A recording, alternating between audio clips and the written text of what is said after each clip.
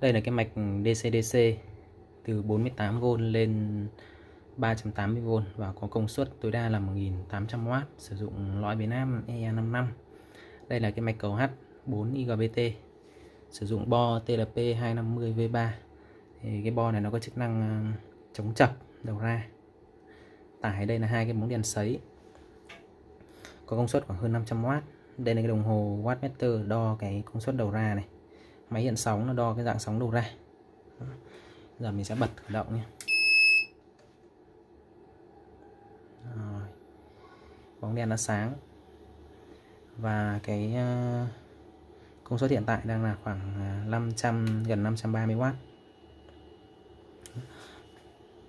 chập đầu ra này. Bóng đèn led là ờ, báo vàng, tức là mạch đang bảo vệ ngắn mạch. Tắt đi này bật lại. Ngắn mạch tiếp này. Vẫn bảo vệ.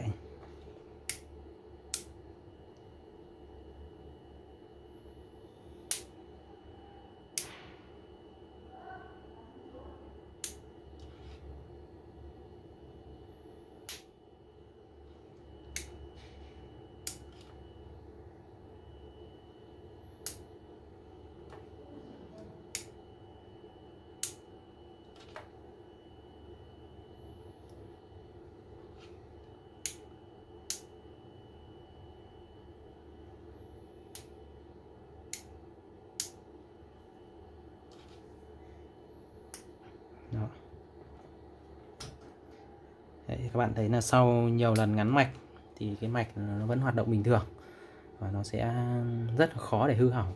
Tại vì này, cái bo EGS V3 này là mình nó có tích hợp cái chức năng là chống chập, bảo vệ quá tải và bảo vệ chập tải rất là tốt.